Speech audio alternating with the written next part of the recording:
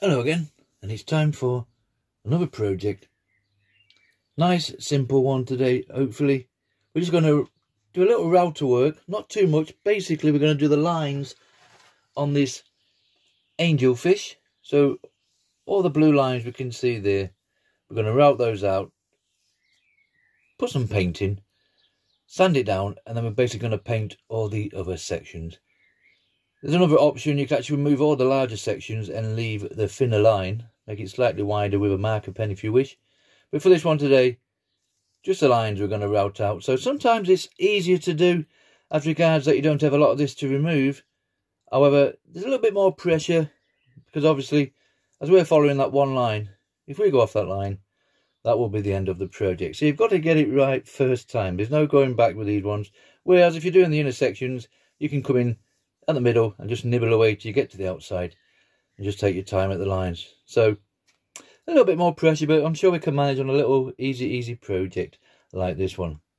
Now for this one, you'll notice it's been drawn out on tracing paper.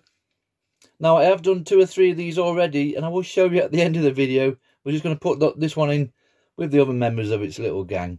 So tracing paper, normally I'll just print it off on printer paper standard now, the way I do it is literally, I've got my tablet here, as you can see. And it's ideal for me because the wood is six inches wide. Just cheap, cheap fencing wood. You spend a couple of minutes sanding that down. If I can just show you, that's the sanded down section. If I just spin it around quickly, that's the rough section. And you can certainly see the difference between that and that. And that's literally a couple of minutes with a belt sander, just to smooth it all down. I'd rather leave my pieces as long as we can, if you know what I mean.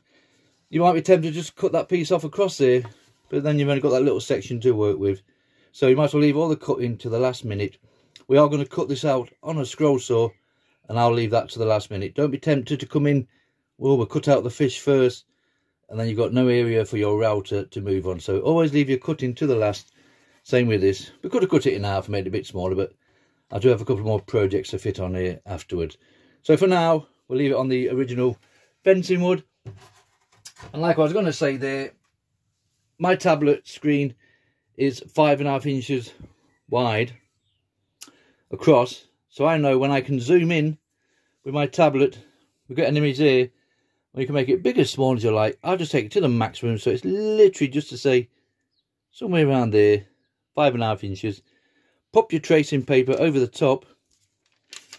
It is possible don't touch that with your hand. You're touching that and it will all go a bit wrong. So you might want to make a little support across. I've just got into the habit of rotating this round and we draw around with a pencil and basically start tracing that out. You only want a rough guideline, remember. You can take it off that and do it thicker afterwards. Put it on a bit, bit of tape and obviously you can zoom that in to ever how big you want it. Once it's obviously done, peel it off and we pop it onto our piece of wood there good old carbon paper underneath and literally go over the top with a nice I prefer to use pen.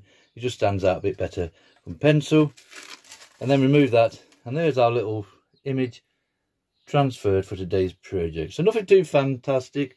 It measures in at roughly five inches by five inches. And like I just said I've actually made four this will be the fourth fish and we'll see them at the end when they're all swimming away in a nice little school hopefully so for now, we can pop that to one side and you'll get a few more projects out of your carbon paper. Now today, because we are just doing the lines, I would normally use CNC bits to do all my lines with to start off with and then go in with end milling bits to finish off removing all the larger sections. But just because we are doing the lines only, we're just going to use a end milling bit. These are eBay or Amazon. They do come with a small shaft on them, a 3.75 millimeter so if you're going to use an adapter, uh, a quarter inch router, you will need the adapter collet. Just get that one out there, it's quite tight, is that one? 6.35 millimeter or quarter of an inch. So your 3.175 millimeter literally slots into there. And that will now fit your quarter inch router, no problem whatsoever. If your router is a half inch shank on it, shaft, you also need a bigger adapter. So that's all we're going to use today because all we have to do is the lines only. I did try a couple more bits. Some were a bit thicker A couple of sample pieces on the side here on another piece of wood. Some were a bit obviously too wide. Some were a little bit too skinny. But these, these end milling bits are fantastic for clearing out with. Should it be one of those kind of projects. So end milling bits today. We've got it in our adapter. We'll set it to a couple of millimeters. Same again, you can do a couple of samples on the sign and find one that suits. But for now, we're just going to route out all the lined areas. Stay there. And then we'll come in with a scroll saw. I will literally just draw a little frame all the way out, round. Just freehand. These are just to go on the gate, so nothing too fantastic, like so. And then we'll use that as our line. Pop our painting. Sand it down so we've got nice black lines running through here. And then we use the paint again to cover the rest of the fish. Once we've done a bit of clear out and a bit of tidy up with a little engraving bit. If I can just find it here. Just cheap engraving bits like so. But they're ideal. We're going to get it. There we go. They're ideal because they will just fit into your Dremel, no problem. And it's just a nice size. It's the same width as the end milling bit, funny enough. So that will just fit in there nicely. And we'll just go around and give it a nice tidy up. Bit of sanding down. And obviously we're ready for the painting. Okay, let's pop this one in the router. We'll do a couple of samples to get our depth. We'll start routing this one out. Right, we've done a couple of samples with the end milling bit. I'm quite happy with that one there. So it's all set up in the router now. Ready to do all the lines on this little project. We don't have to go too deep because we're just going to put a bit of paint in. But obviously you don't want to thick a bit on because you don't want the lines to be too wide. And one, this is one of those projects, and I always say on most of my videos, never route out on the line. If you're removing this, always route out up to the line. But on this occasion, we're basically going to go right on top of the lines, as near as we can get it. It doesn't have to be perfect, remember. Just simple, simple little fun projects to stick on the front gate with the rest of them. So, we're all set up. I've clamped this wood down on this one, if I can just see there. We've got it clamped down, a little clamp over there, just to hold it in place. It doesn't need it. And if you struggle with your routing, sometimes you like to put it towards you, you can turn your wood round and just rotating. I just can't do this the other way because I've got the scroll saw in the way on the other side. I'll just show you the mess in that corner over there. So the fish is actually upside down for now, but we are going to be turning this wood as we go along. Okay, so we're all set up. Remember, just the lines on this one.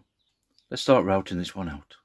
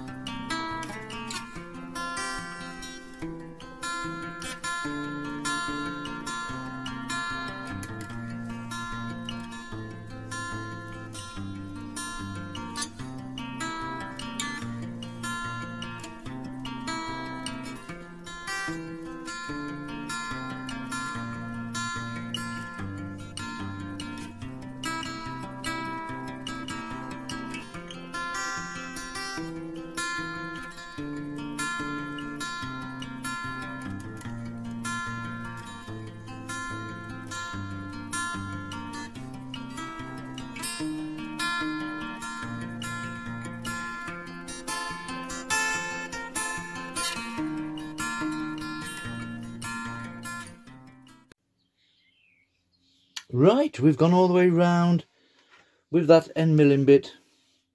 That didn't really take a lot of doing. You can more or less see from there we've done all our lines. So you shouldn't have any pencil lines showing afterwards. Is it perfect? It doesn't really matter. Not everyone's going to be perfect, is it? So I'm not overly concerned. Just rough fencing wood and a nice little project to fill in an hour or so on an afternoon. So that's our router bit done, should I say. That's all finished with. Now for me, as always, I like to use engraving bits. They come in different shapes and sizes. Just eBay special. I will put on links in the description. And I just find one that fits a nice flat bottom with sides. And I will use this just to go inside the bits. Just get those little noduly bits off there. I think my end milling bits are starting to ready to renew now. So it's not as neat as it normally is. But we'll just go inside, give that all a nice general tidy up. And then we use a bit of sandpaper just to get there, get those bits off. It just fits in there nicely, like so. And then we'll mark it off with a pencil. all the way around. And then when we come back again, we'll be ready for cutting this one out.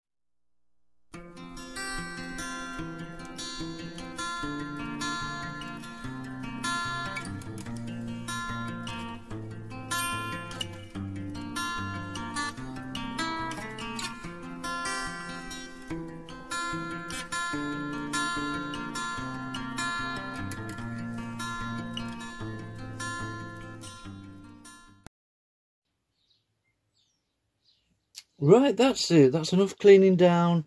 We've used the sandpaper and I literally just got a pencil and drawn around a little framework as you can just about see from there. And that's our line we're going to follow with the scroll saw to cut it all out. Now, depending how you want to sand your wood down, remember we're going to brush paint into the routes out areas and then we'll give it a little sand over. You might want to leave your cutting out to the last section depending if you're going to use a belt sander or put that through a plane or whatever.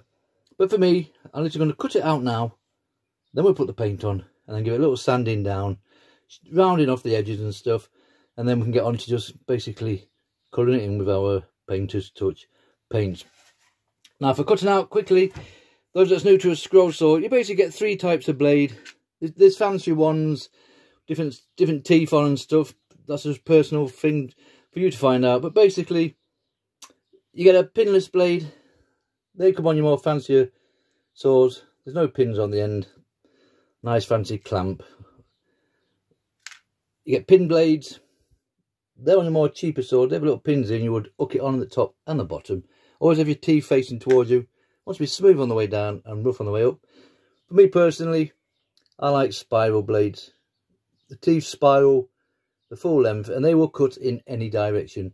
They're ideal for larger projects. You don't certainly don't need it on this one today because it is a small project, but I just prefer to use spirals. And with my little Draper, I have to use these adapter clamps at either end. They're a bit of a pain sometimes because you've got to take them out, put it on, tighten it up with an Allen key, hook it on, hook it off, same again. So they're not the best in the world, but uh, there's your choice of blades. So we'll pop this Pegas number 5 spiral on quickly now. Nothing too fancy. Give it a quick cut out. And then we'll be ready for popping our paint into the end bits. Once we give it a general sanding of the edges. Cut it out now.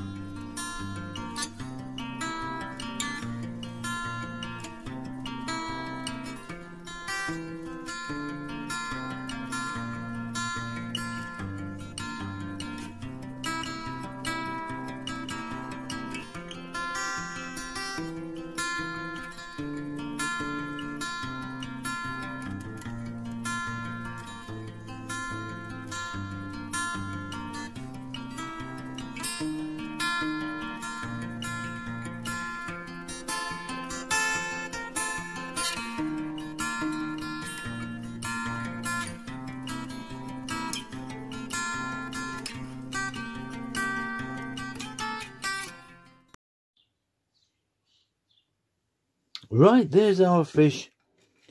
Nicely cut out. Now, I'm not the best scroller in the world, so I'll literally go around now with a sanding drum on my Dremel again, just to round these edges off. And any bits that aren't so clever, we just clear it up nicely. And a quick going over with sandpaper again, and then we'll be on putting a bit of painting in, just to fill in basically the routed out areas. We're going to want black for all the lines while we're we'll pop a bit of white into the eye, then sand it all nice and clear, and then basically just fill in the sections with the colours required. The yellow, the white, and the black. Okay, just quick tidy up first, then when we come back, we'll be on for painting.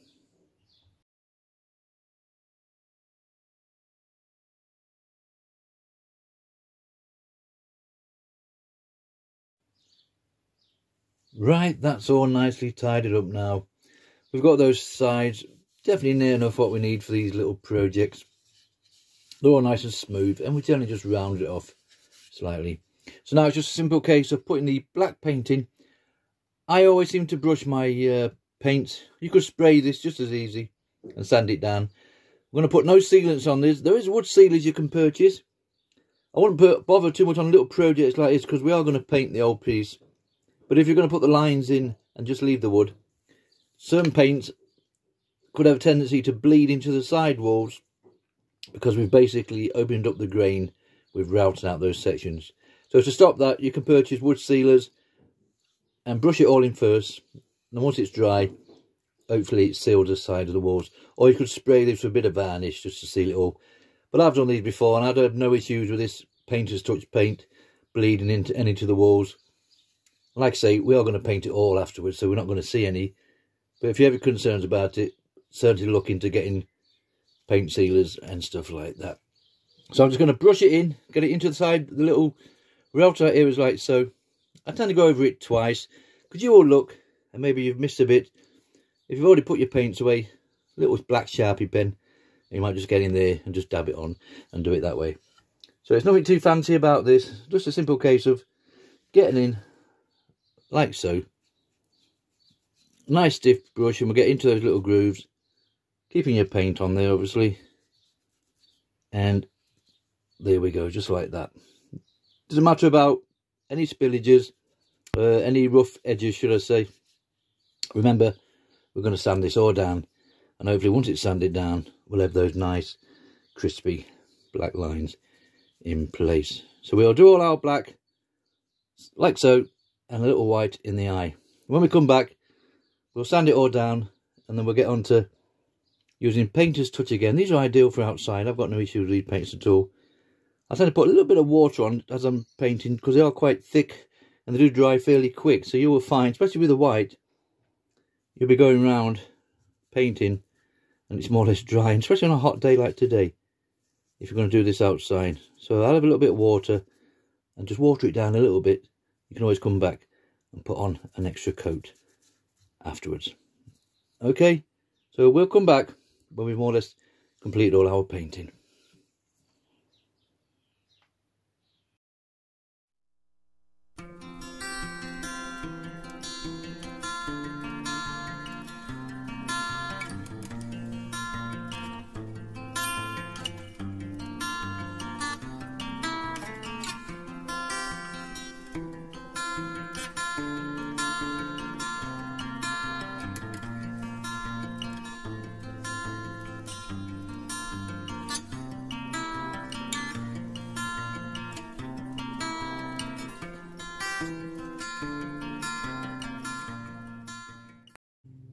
Right, that's it. This little project is finished. Now, it's only a small little fun project. It measures in at five and a half inches by five and a half inches. Once we put the paint on and finished that, I actually went on with boiled linseed oil. I like to use that on most of my projects. That's literally just to darken the wood again. So we just brushed it on. So I didn't show you that part. And we put some on the back as well. So that just darkens it down again. And you might just notice there, we've got a nice little shine going. Now, it didn't need it, but I do like a shiny finish on my little project. So I literally just sprayed on first bit of gloss that I could find. Nothing fantastic there either. And for me, it just finishes the project off nicely. Now, it didn't need it because it is Painter's Touch paints. And they are designed to go outdoors. So you, you didn't need any varnish on as such. And obviously the boiled linseed oil is designed to go outdoors to protect the wood so it didn't need that. But I just do like that little bit of bit of a shine finish to it like so. So that's it. This little project is finished. Remember it's just on cheap fencing wood. We routed out the lined areas with the end milling bit and then basically it was just a case of painting it. Obviously before that I prefer to cut it out first on a scroll saw with a Pegas spiral blade and obviously if you've done one they do go in schools, these ones. So we're going to need another one like so, just to finish him off. And if you've done two, you might as well find yourself another one. With my projects, I do prefer to just do one-off items. So doing three of these has really been a bit of a chore for me. and then his little friend come across as well, come over as well. So we end up with four of those just to finish that off nicely. And they make nice single items. You could put that on a little stand as it is, on a little base with a dowelling rod, and have that as a single item, or you put two together, four together. These are literally just going to go in my garden. I will find a home for them eventually. And while I was on doing them, they're obviously swimming away from the big boy here. That was exactly the same way. You can see that lovely shine on there. So he's giving them a little bit of a chase off. And to help him out, we have this chap coming in from the other side. And that's it. This little project, when I say little, we've ended up doing six to finish it off, is completed. Nice little easy project, nothing too fantastic. Bit of bit of fencing wood, fairly cheap from your garden centre or DIY store. You might sort of know them as gravel boards, or fencing boards. I just call them fencing wood. And that's it. Fun little project. Angelfish. Good old little clownfish Nemo over there. And we're not too sure what this one's called. We're sort of trying to research what that one is. So if you have any, any idea what that is, I'll be interested to know. And that's it. These little projects are finished. Thank you very much for watching.